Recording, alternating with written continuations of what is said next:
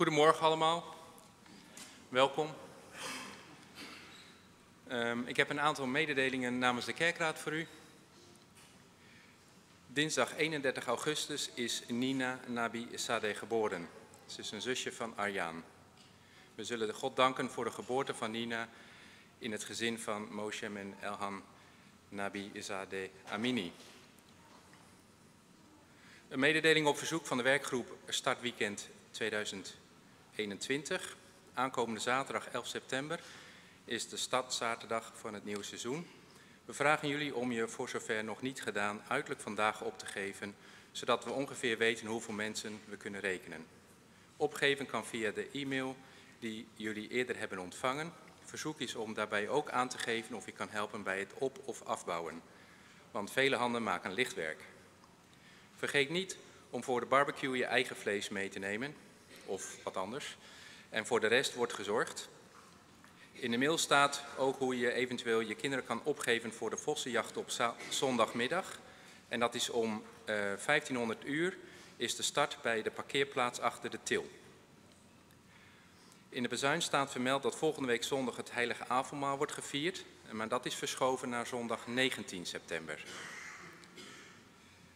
Voorganger in deze dienst is eh, Henk Koppelaar. Ehm, ik zal hem straks het podium geven nadat ik de voorbeden en gebedspunten eh, heb eh, genoemd, waar we ook in deze dienst speciaal aandacht voor geven.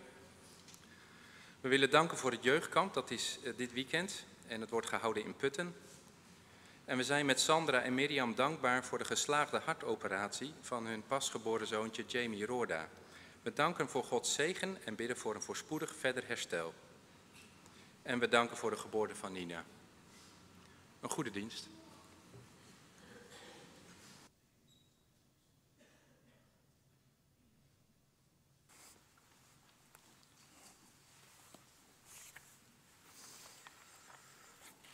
Goedemorgen, broeders en zusters. Ben ik verstaanbaar? Ja, hè? Doet u het? Oké. Fijn om jullie allemaal uh, te ontmoeten, om uh, samen in de kerk te zijn, om uh, God te eren, God te loven. Zoals gezegd, ik ben Henk Koppelaar, voorganger van ICF, Oase gemeente in Amersfoort. Een kerk die ook door jullie als Klassisch Kerk Amersfoort wordt ondersteund. Waarvoor onze dank nogmaals. En het is vandaag voor ons een bijzondere zondag, want vandaag bestaat Oase tien jaar. Um, dus daar kan ik helaas niet bij zijn, want we hebben een bijzondere dienst, maar ik had hier al afgesproken. Um, ook de kijkers thuis, uh, welkom dat u ook uh, in de dienst uh, aanwezig bent, ook al bent u thuis of op een andere plek. We hopen samen een gezegende dienst te hebben. Laten wij gaan staan voor votum en groet.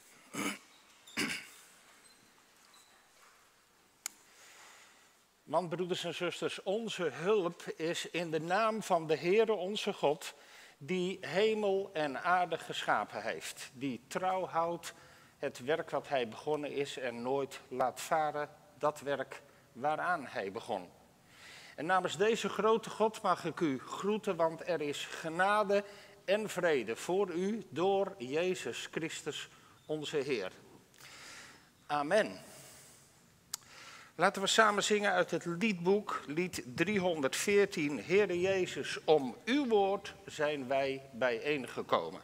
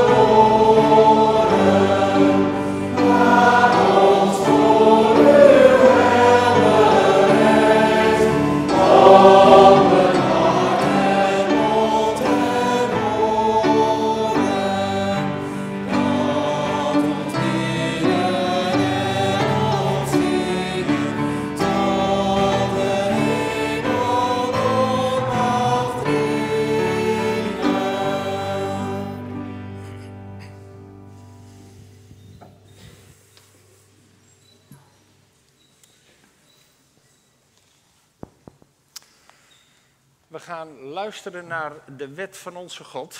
En ook de preek gaat daar een beetje over. Dat zult u straks wel merken. Ik lees eh, de wet uit Deuteronomium 5 en dan lees ik eerst het eerste vers en daarna de wet van God uit vers 6 tot 21. Luister, Israël, naar de wetten en de regels die ik u vandaag bekend maak.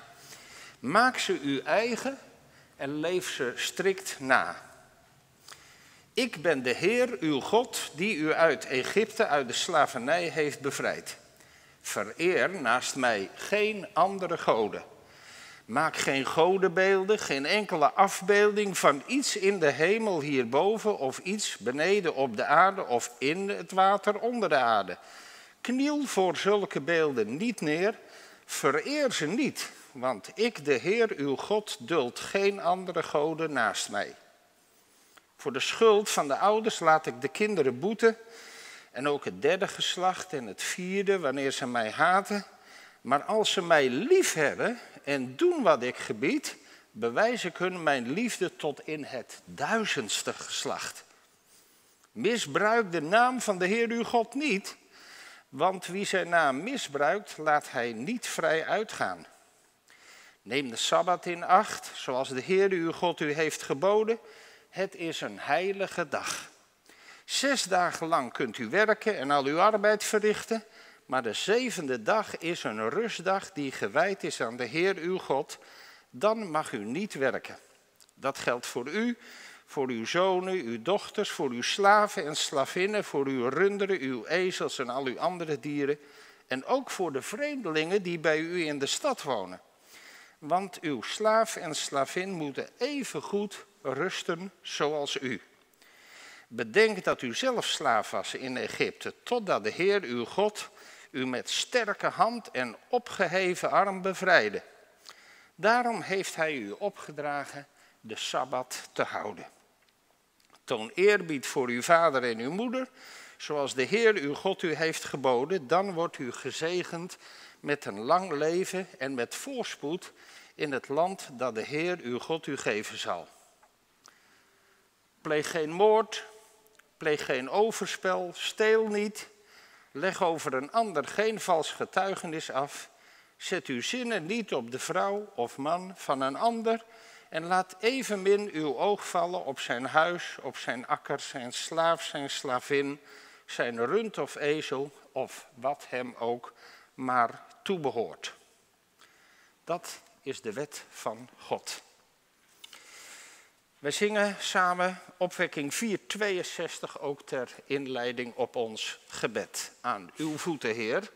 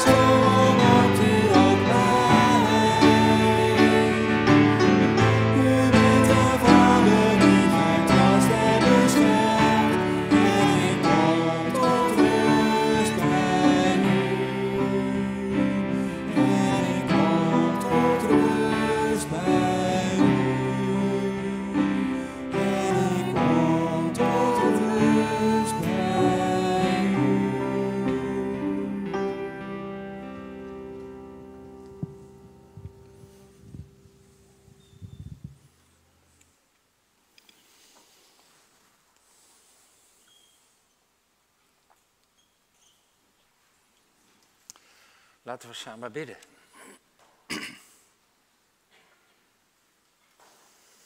Machtig God, Vader in de hemel, dank u wel dat we inderdaad bij u mogen komen.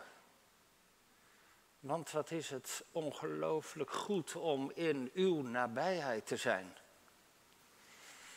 En Heer, dank u wel dat u in uw wijsheid het al goed dacht dat we minstens één dag per week rust zouden hebben. Rust om bij u te zijn. Niet druk te zijn met alle mogelijke andere dingen uit onze volle agenda's. Maar gewoon stil en rustig bij u. Dank u wel dat u naar ons hoort, dat u uw aandacht op ons richt. En dat u er blij van wordt als we in ontzag tot u bidden en voor u zingen. Met heel ons hart. Want u bent alle aanbidding waard.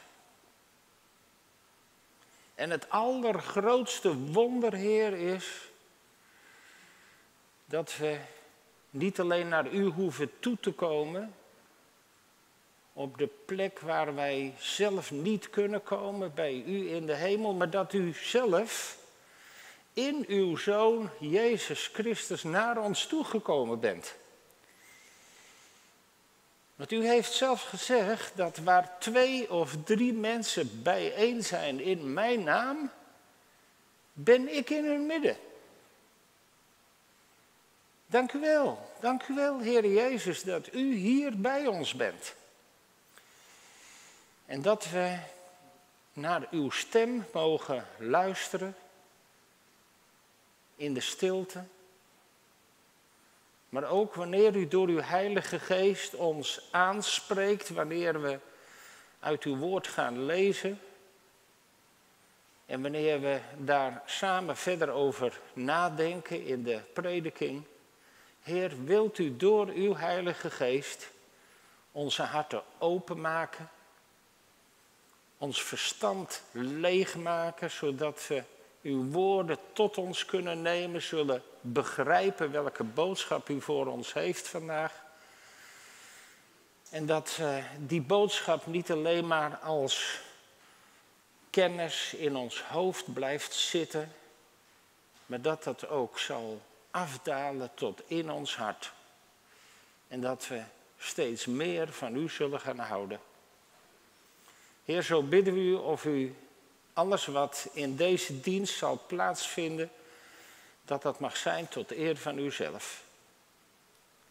We bidden dat samen in de naam van de Heer Jezus. Amen.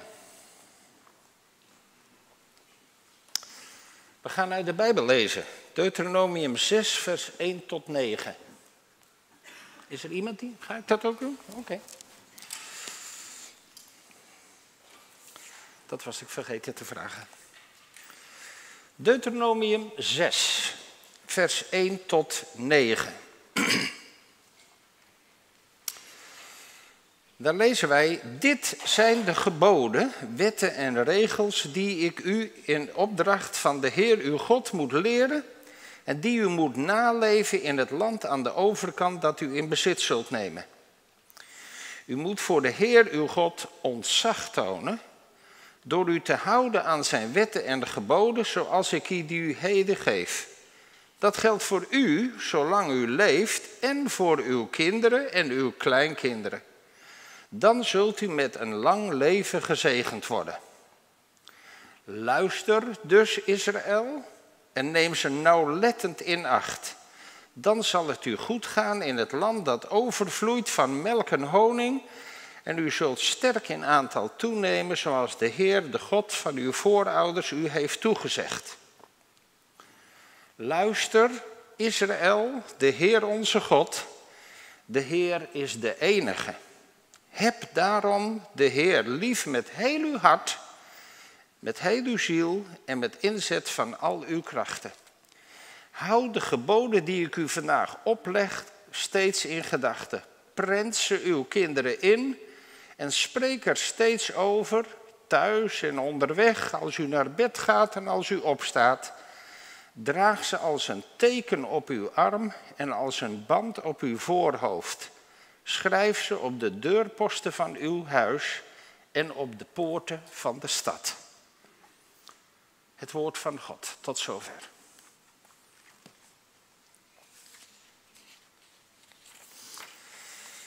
Ik moet u iets bekennen. Nou, moet niet, maar ik beken u iets. Ik had een PowerPoint gemaakt, keurig netjes bij deze preek. Maar ik heb de liturgie naar de liturgiecommissie toegestuurd. En in de brief stond of ik de presentatie aan de Beamercommissie wilde sturen. En dat heb ik niet gedaan. Dus je moet het zonder plaatjes doen. Dat is toch een beetje jammer.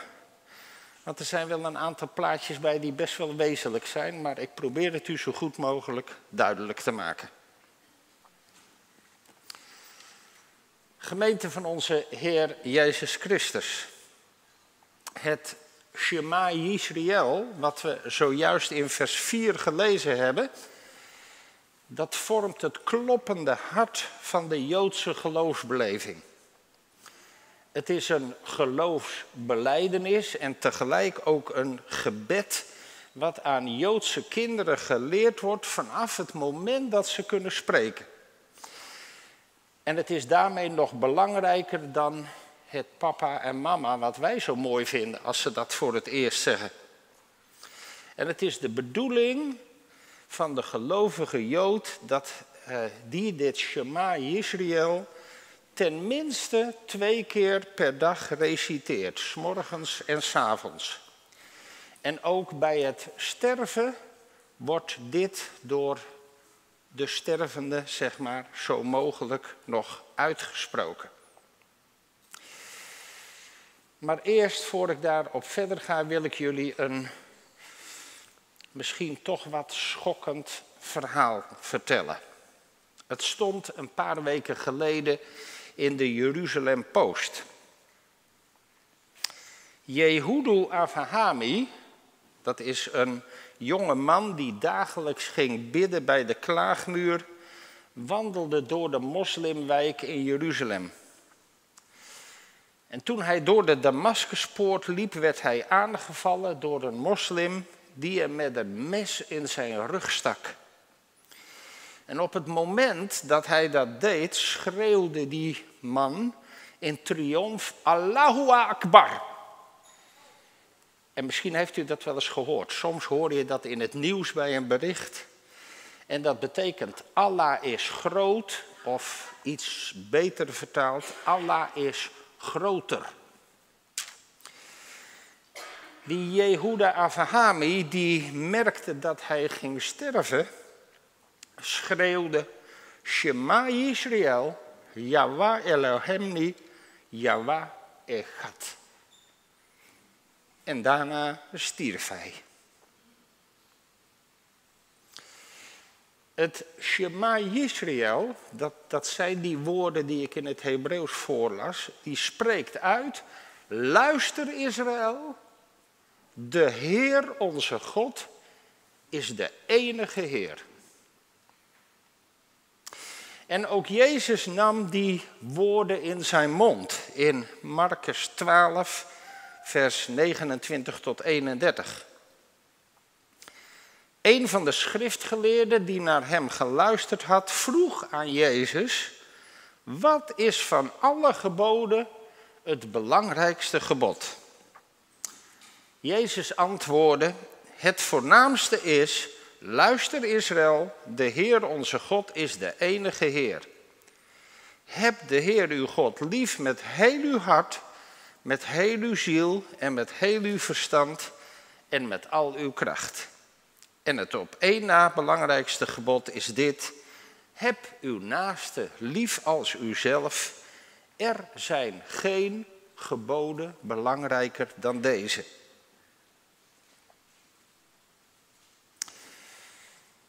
Voor ons die het gezegde kennen, liefde laat zich niet dwingen, kan dit gebod, want dat is het, best een beetje lastig zijn. Maar de liefde waarover hier gesproken wordt, is niet een liefde alleen uit gevoel of emotie, maar ook een liefde die zich kenmerkt in gehoorzaamheid, loyaliteit en eerbied. Net als in een ouder-kindrelatie. En in vers 7, we lazen dat, zien we dat in Gods didactiek het belangrijk is dat de geboden van God eerst aan de kinderen worden ingeprent. En pas daarna volgt de uitleg en de toepassing. En dat verschilt nogal met de hedendaagse praktijk. Want daarin wordt eerst veel gediscussieerd, veel gepraat. En als we het dan met elkaar eens zijn, oké, dan willen we het wel tot ons nemen. Hoe het ook zij, wat hier in Deuteronomium staat geschreven, geldt niet als, alleen als opvoedingstaal voor onze kinderen. Het geldt voor alle volwassenen, voor ons allemaal. En het leren van de geboden van God is niet iets aparts of zo. Iets wat we naast al onze andere dingen kunnen doen. Het leren leven naar de geboden van God, wat houdt dat dan precies in? En ik denk dat we daarbij drie lagen kunnen onderscheiden. Drie lagen die steeds wat dieper doordringen tot de kern. En in de eerste plaats gaat het dan om gedrag. We leren bijvoorbeeld om te bidden, te spreken met God. En we leren om de Bijbel, het woord van God, te lezen, te luisteren naar God. En we leren te zingen, God te prijzen met onze liederen, Hem te aanbidden die de schepper van hemel en aarde is. Dat is, dat is de eerste laag. Maar dan is er een tweede laag die, denk ik, iets dieper gaat. Daar gaat het om het je houden, je, het leren je te houden aan normen en waarden. Het leren wat goed is en wat verkeerd is. Het leren van een bepaalde levenshouding. Want ook dat hoort bij het leren kennen van wie God is. Dat Hij voor ons zorgt als we gezond zijn en ook als wij ziek zijn. Dat we Hem vragen om vergeving als we dingen verkeerd gedaan hebben. En dat we de verantwoordelijkheid nemen voor de mensen om ons heen en de natuur om ons heen, want die heeft ook God geschapen. Dat we zorgvuldig en verantwoordelijk met zijn schepping omgaan. Maar die beide lagen die raken nog niet de, de kern. Want je kunt normen en waarden, die kun je aanleren en je keurig netjes aan die normen en waarden houden. Maar nog steeds zitten we dan wel een beetje aan de buitenkant. Je doet wat je geleerd is. En daarom moeten we nog een laag dieper gaan. En in die laag gaat het om de kern van het geloof. Een persoonlijke relatie hebben, krijgen met God. Het allerbelangrijkste is dat wij een hechte band krijgen met God. Niet als een aangeleerd lesje, maar als een echt dagelijkse werkelijkheid. Een werkelijkheid in jouw leven waar alles mee staat of valt. En al deze drie lagen vinden wij terug in onze tekst. En in vers 8 en 9 gaat het dan om rituelen, zeg maar, het dragen van de geboden als een teken op je arm en als een band op je voorhoofd. En het schrijven ervan op de deurposten van je huis en de poorten van de stad. En weet u dat de orthodoxe Joden dat heel letterlijk doen? En dan komen er van die mooie plaatjes. Ze dragen letterlijk de geboden van God in een soort doosje met een, een riem om hun arm. En ze dragen dat ook als een doosje op hun voorhoofd. Dat heet de tefillin. En in die, in die tefillin staat overigens niet alleen maar Deuteronomium 6 opgeborgen, maar ook wat er staat in Exodus 13, vers 1 tot 16. Dat mag u thuis een keer nalezen. En daarnaast kennen ze ook de mezuzah. Misschien heeft u er wel eens van gehoord, maar het is een soort klein kokertje waar de geboden van God in zitten. En die bevestigen ze dan aan de rechterdeurpost van hun huis. En eigenlijk heeft dat best wel een hele mooie betekenis. Dat je de geboden van God heel letterlijk in je leven moet voelen en zichtbaar maakt. En daarnaast ook nog op de poorten van de stad. Nou, ik woon in Amersfoort en ik kom wel eens in Leusden, maar ik heb nog even snel gegoogeld of er ook uh, in Leusden een poort is of zo. Nou, ik kon er niets over vinden in ieder geval. Maar goed, ik zei al, ik kom uit Amersfoort. We hebben de Koppelpoort in Amersfoort. En ik weet niet of u daar wel eens geweest bent, maar er zit een heel klein deurtje zit er in de Koppelpoort. En aan de, aan de post van die deurpost is een Basusa bevestigd. Dat is zo mooi. Dat letterlijk, ik weet niet wie hem aangebracht heeft, vast de burgemeester niet. Maar dat daar toch mee wordt gezegd, deze stad, op deze poorten van de stad, voor ons zijn de geboden van God belangrijk. Nogmaals, ik weet niet wie hem erop bevestigd heeft, maar ik vind het toch een mooi, een mooi signaal, zeg maar. Dat doosje op je arm, dat staat voor je daden, de dingen die je doet. En dat doosje op je voorhoofd, dat staat voor je, je denken. En je daden en je denken, je volledig laten bepalen door het woord van God. En dan ook nog je huis toewijden aan de Heer van je leven. En daarmee zeg je in feite wat Jozua ook al zei in Jozua 24. Daar zegt hij, maar ik en mijn huis, wij zullen de Heere dienen. En ook dat is eigenlijk best een mooi getuigenis. Toen wij 35 jaar getrouwd waren, nee, ik zeg het verkeerd. Toen mijn ouders 35 jaar getrouwd waren, dat is al heel lang geleden, kregen we allemaal, we zijn met z'n zevenen thuis, zo'n tegel in boekvorm waar dan die tekst van Jozua op stond. En de ouderen herkennen dat misschien nog wel. Ze zijn nog te koop. Ik was pas in een evangelische boekhandel en daar zag ik ze nog liggen. Maar hoe het ook zij, broers en zussen, dat getuigenis moet niet als een kokertje in, in, in die mezuzah blijven zitten of in uh, een doosje op je arm. En ook niet als een soort getuigenis op een nostalgische tegel aan je muur, hoe mooi het ook is. Nee, waar het om gaat, broers en zussen, is dat heel ons denken, alles wat je doet en alles wat je zegt, je spreken, doordrongen moet zijn van onze Heer, onze God. Maar uiteindelijk, ik zei het al, gaat het toch om die derde laag, de relatie met God. Dat moet de kern zijn van alles. Onverdeelde toewijding aan God. En daar gaat het ook om in de geboden van God. Ten diepste draait het om deze ene vraag. Wie is God voor jou?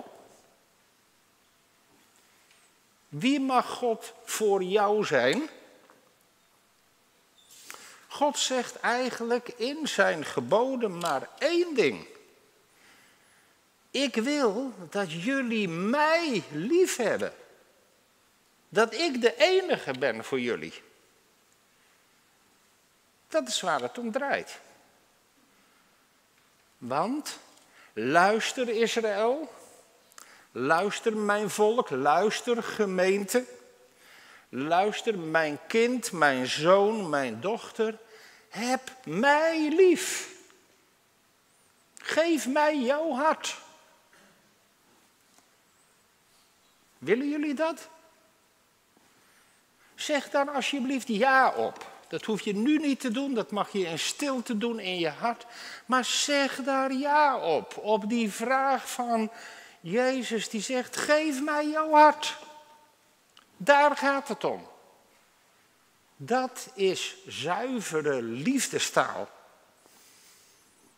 Wie zegt zoiets nou tegen je? Toch alleen maar iemand die in liefde voor jou ontbrand is. Geef mij je hart. Dat zegt toch alleen maar iemand voor wie jij de allerliefste bent. En als God zegt, luister, dan verwachten we misschien een heleboel geboden en regels waar we ons aan moeten houden. Maar je verwacht toch niet dat hij tegen je zegt, heb mij lief. Maar dat is het geheim van God. De God die wij hebben leren kennen als de Vader van onze Heer Jezus Christus. Hij komt niet met loodzware eisen en geboden waaraan we ons toch niet kunnen houden. Hij vraagt alleen maar: geef me je hart. Heb mij lief. En zonder enige reserve maakt hij zich zo aan ons bekend. Luister Israël, de Heer onze God is de enige Heer. Er is er maar één zoals Hij. Wat anderen ook zeggen. En Hij is niet grillig, niet wispelturig, niet willekeurig. Want als Hij zegt dat Hij ons lief heeft, dan heeft Hij ons lief. En als Hij zegt dat Hij voor, als een vader voor ons zorgen wil, dan zorgt Hij voor ons. En als Hij zegt dat Hij ons tegen alle kwaad zal beschermen, dan doet Hij dat ook.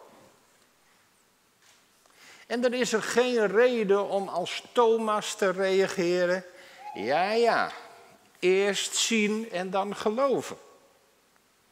Nee, de Heere onze God is te vertrouwen. Ik ben die ik ben.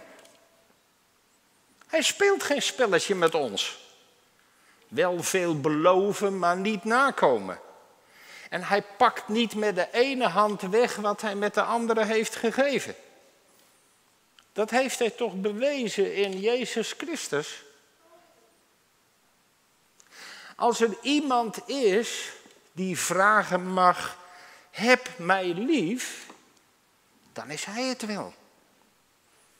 En de enige passende reactie om die liefde met wederliefde te beantwoorden. Met heel je hart, met heel je ziel, met al je kracht. Zo onverdeeld als God ons lief heeft, zo horen wij Hem lief te hebben. En wie God toelaat in zijn leven, wordt dan ook een ander mens, een mens uit één stuk. En dan kun je niet meer volstaan met een klein stukje van je leven toe te wijden aan God. En andere dingen, nou ja, daar hoeft hij zich even niet mee te bemoeien. Waar het om gaat is dat niets in ons leven losstaat van ons geloof in God. Alles wat we zeggen, alles wat we denken, alles wat we doen. Alles heeft te maken met God. De manier waarop we ons werk doen. Hoe we omgaan met onze buren. Hoe we achter het stuur op de snelweg zitten. Hoe we ons geld besteden. naar welke tv-programma's we kijken, hoe we omgaan met internet, hoe we met of over onze collega's praten, hoe we omgaan met succes, hoe we reageren op tegenslagen. Zelfs wat niemand weet, onze fantasieën, onze verlangens, alles, werkelijk alles heeft te maken met Gods liefde voor ons. En bij dit alles kun je je dan de vraag stellen, hoe doe je dat dan als kind van God? Hoe verbind je wat je zegt en wat je doet met jouw liefde voor Hem en Zijn liefde voor jou? En zo kan alles een gesprek worden met je kinderen en met iedereen die God nog niet zo goed kent. En de ene keer begin jij er misschien over en de andere keer stellen ze jou vragen. Waarom dit? Waarom dat? Maar ook wanneer je helemaal niets zegt, dan nog zullen ze feilloos merken hoe je geloof werkt. Of juist niet. Zo leven, dat is niets anders dan leerlingen, discipelen maken. Mensen die de enige ware God aanbidden. En die zich houden aan de geboden en regels die God geeft. In Jezus ontmoeten we de enige God. En de liefde waar we toe worden opgeroepen, is ten diepste het antwoord op de liefde waarmee God ons in Christus lief heeft. Bedenk daarom maar waar het allemaal mee begint. Met de Heer onze God, die aan ons allemaal vraagt: Heb je mij lief? Geef mij dan jouw hart. En daarop is toch eigenlijk maar één antwoord mogelijk. Amen.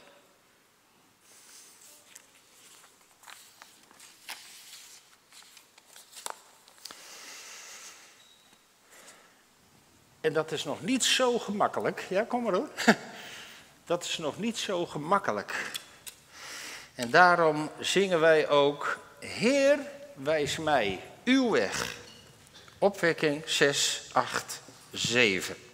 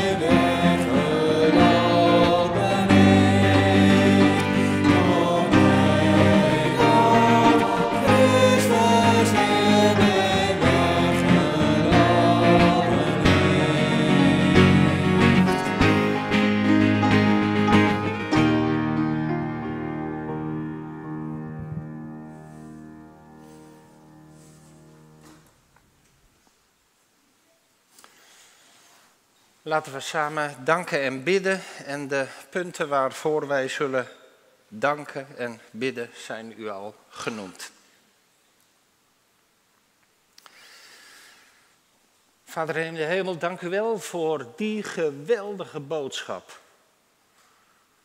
Dat u tegen ons zegt, ik hou van je. Hou van mij.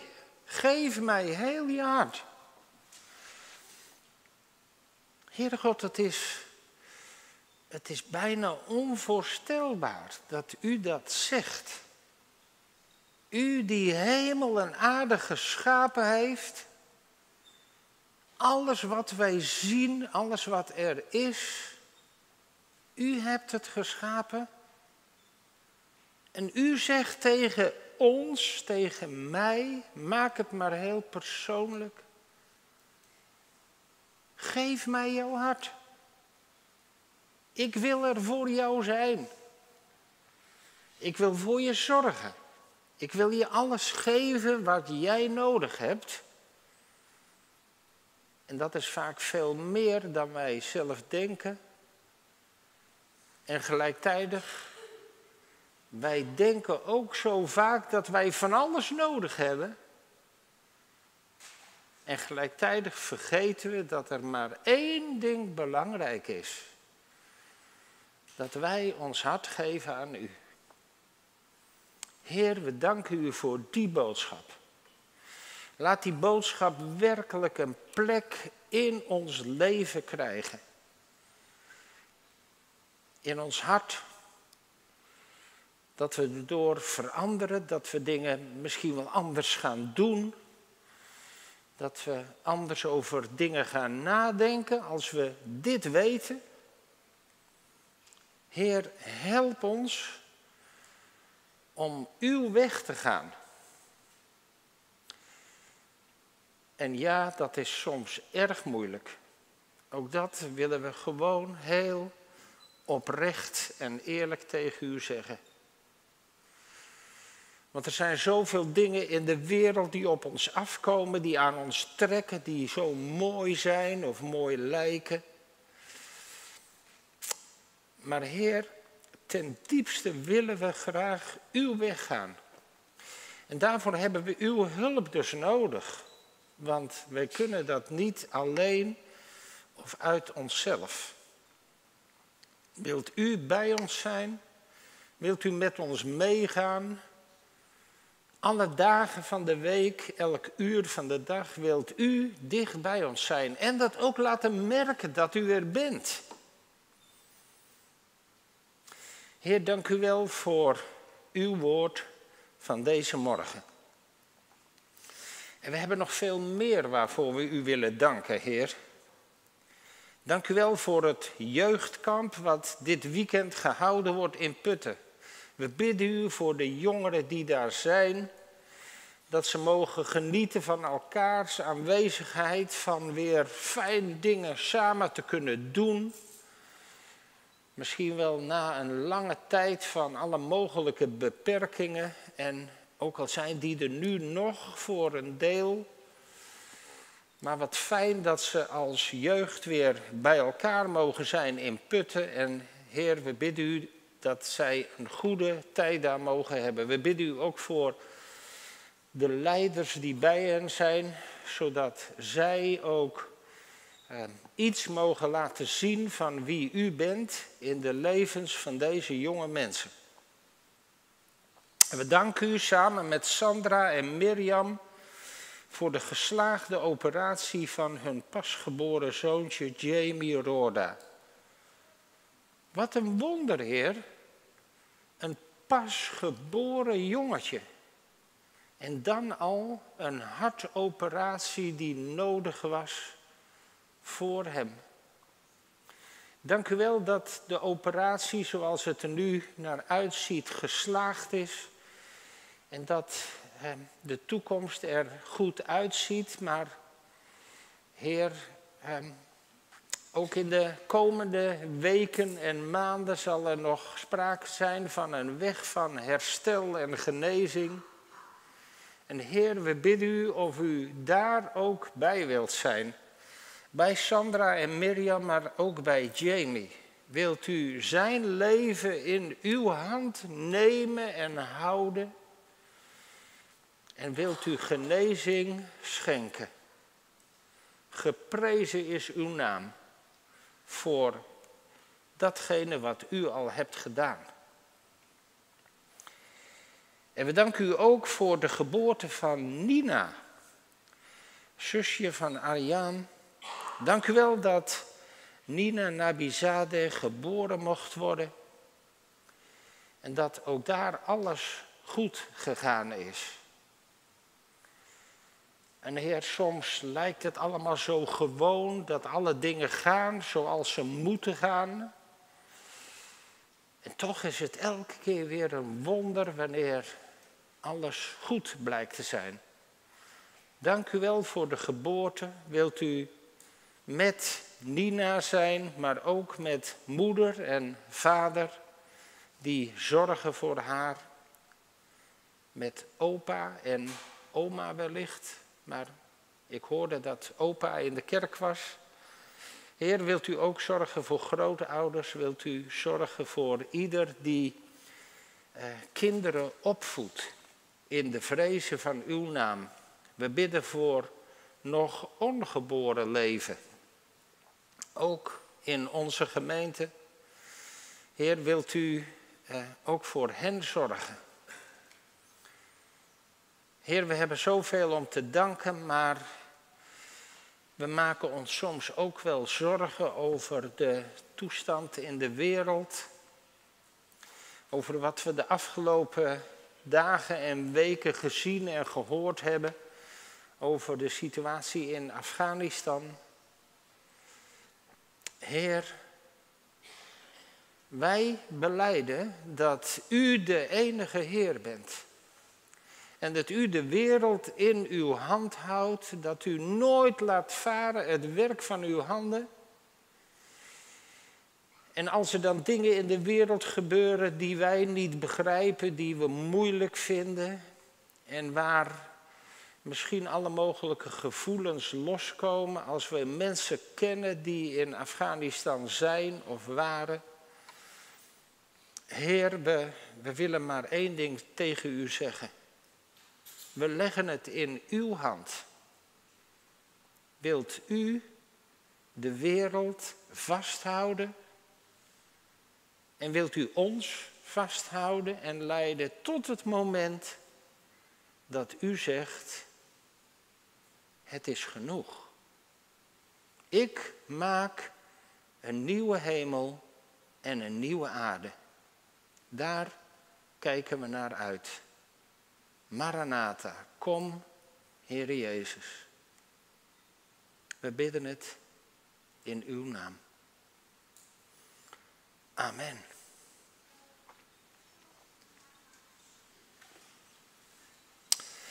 Er is gelegenheid voor de collecte. En u weet vast hoe dat, dat moet. Maar om u daar ook ruim de tijd en gelegenheid voor te geven, heb ik een luisterlied opgegeven. En een lied wat helemaal past bij de preek, want het gaat namelijk over precies diezelfde tekst. Hoor Israël. En ik denk dat als u de melodie en de wijs kent, mag u van mij meezingen, toch? Ja, hè? Hoor Israël en daarna eh, hebben we nog de slotzang. Er is een volk door God gekozen om tot zijn licht te zijn. Het werd uit slavernij gedragen op reis door de woestijn. Het heeft de wet van God gekregen, een woord van zuiverheid.